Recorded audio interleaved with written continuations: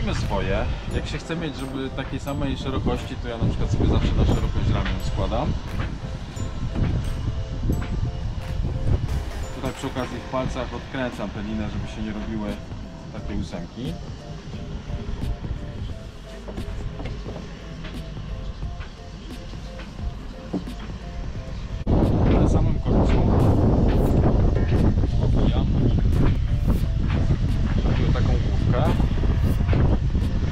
Przeciągamy pętelkę na drugą stronę.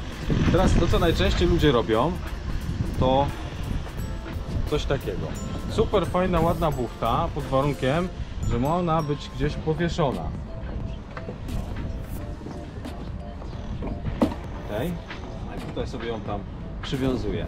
Natomiast jeżeli to by miało trafić do bakisty, gdzie się wiecie, liny wyciąga, mieszają się z innymi, e, to tu przewala się to gdzieś tam przy przechyłach, no to to się najczęściej wyjmujemy taki makaron i ktoś kiedyś zrobił buchtę, a to trzeba znowu porządkować, bo się to rozleciało.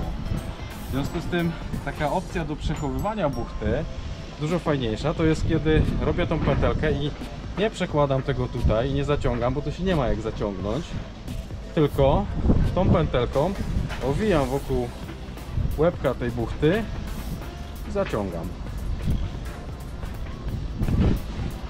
Akurat mokra lina, więc I teraz coś takiego, to się może przewalać w łagisie gdzieś tam po statku i to się nie rozleci.